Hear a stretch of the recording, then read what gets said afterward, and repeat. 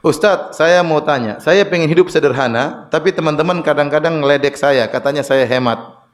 Misalnya saya dikontrakan tidak ada kulkas. Misalnya saya dikontrakan tidak ada kulkas. Gimana sikap yang harus saya lakukan Ustadz? Uh, sederhana itu bagus, tapi pelit tidak boleh. Ya. ya pelit tidak boleh ya. Ya, pelit banyak dicela dalam Al-Quran dan hadis-hadis Nabi Sallallahu Alaihi Wasallam. Ya. Seorang bisa membedakan diri antara sederhana dengan pelit. Ya, kalau dia kulkas, saya rasa kebutuhan yang sangat penting sekarang ya. Kalau memang dia tidak perlu ya sudah nggak perlu. Tapi kalau saya rasa kulkas itu kebutuhan ya. ya.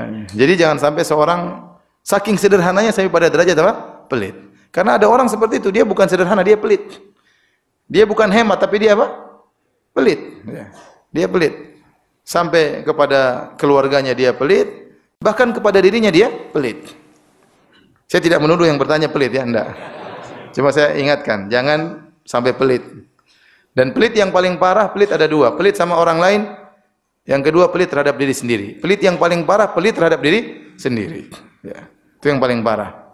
Dan kalau orang sudah pelit terhadap diri sendiri, akhirnya yang di sekitarnya menderita.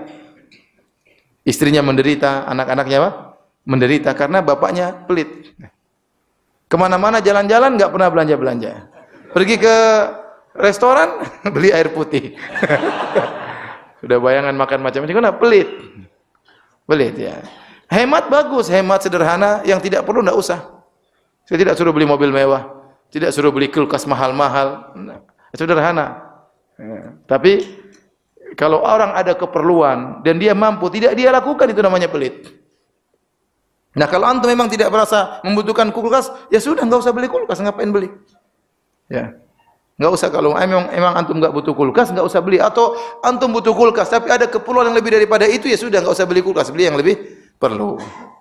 Tapi kalau ternyata antum butuh kulkas, uang ada. Cuma eman-eman kalau beli kulkas itulah namanya pelit. itulah namanya apa? Pelit ya.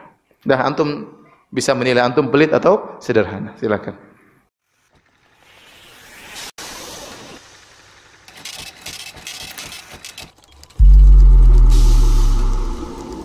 जेते ओरिजिनल